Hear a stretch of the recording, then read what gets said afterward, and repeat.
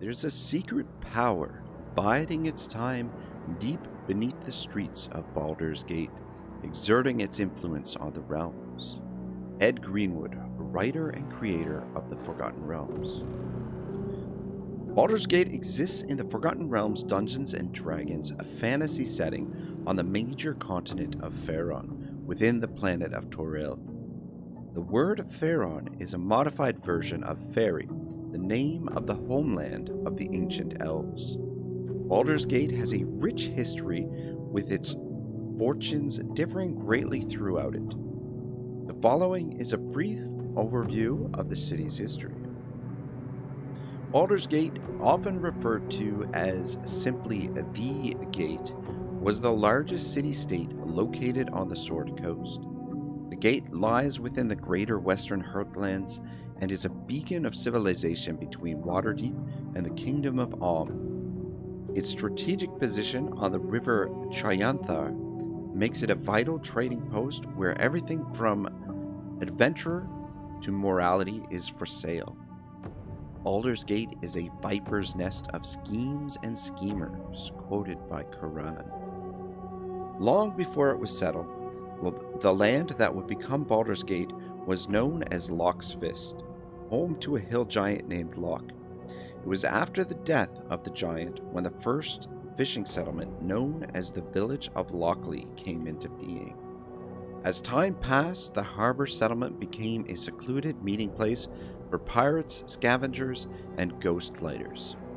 Ghost lighting being a method of using lights in order to trick ships sailing along the foggy coast to run aground so that their goods could be pillaged. Once these ships were looted, the looters were then free to sail up the Chionthar to a secluded haven named Grey Harbor. This haven and the village of Lochley, with a shipyard and visitor wharves, became known as a port of call for ships from across the Sword Coast by the year of the Avarice, 204 DR. In the city's early days, a seafaring hero named Balduran gathered vast wealth on a voyage far beyond the Isle of Evermeet to the distant continent of Anchorome. Balduran hid his riches away in secret caches and ordered a great granite wall to be built for the protection of his home. Not long after, Balduran embarked on a second voyage to the continent, only to vanish and never return. Following Balduran's disappearance, local farmers took over the wall's construction and focused it to protect their farms and holds rather than the harbor. With the addition of the walled fortifications, many nearby townsfolk and the outsiders flocked to the hamlet, causing it to swell in size. Many new buildings were constructed between the wall and southern harbor, the area becoming known as Heapside, whereas the walled area near Grey Harbor was known as Old Town. Some scholars believe that the year of the late sun, 300 DR, the city was widely known as Baldur's Gate.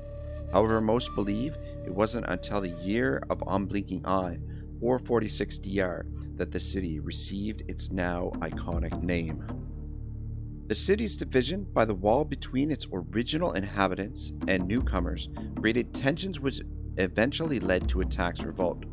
Fortunately, this rebellion was pacified by the four most senior sea captains before considerable damage was done to the city. In the years and centuries that followed, trade flourished and the city expanded as the nation of Amn was formed. Despite remaining neutral, Baldur's Gate soon became the most powerful force in the Western Heartlands. The 14th century saw the arrival of the Flaming Fists, a mercenary company sworn to order and honor, founded by the renowned fighter Eltan. The mercenaries' discipline and success, repelling border incursions of monsters and trolls from the north, provided Baldur's Gate with much needed safety and security. The group's renown leading Eltan ascending to the rank of Grand Duke. During the time of troubles, known as the Avatar Wars, Baron was beset by Bhaal, god of murder and patron of assassins. Bhaal was eventually defeated by Cyric in battle a couple of hundred miles northeast of Baldur's Gate.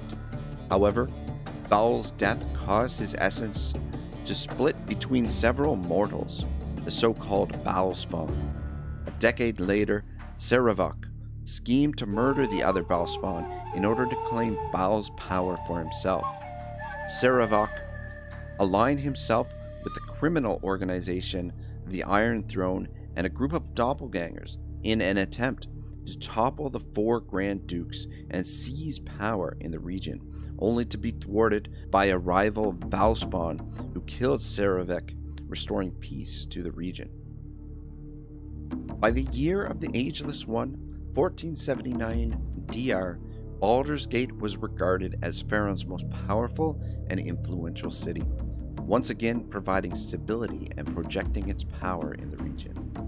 While this has been a brief overview of Baldur's Gate's origins and history, there is far more mystery, intrigue, and legend to explore. If you enjoyed today's video, let me know in the comments and we can investigate Baldur's Gate rich lore in future videos. Thanks for watching. Don't forget to like, comment, share, and subscribe. Have a great day, everyone.